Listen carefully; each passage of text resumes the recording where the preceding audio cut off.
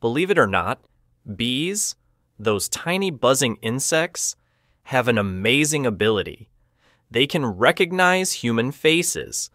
It's not just dogs or smart animals that can remember people, even bees can do it. Scientists once conducted an experiment where bees were trained to identify patterns that resembled human faces.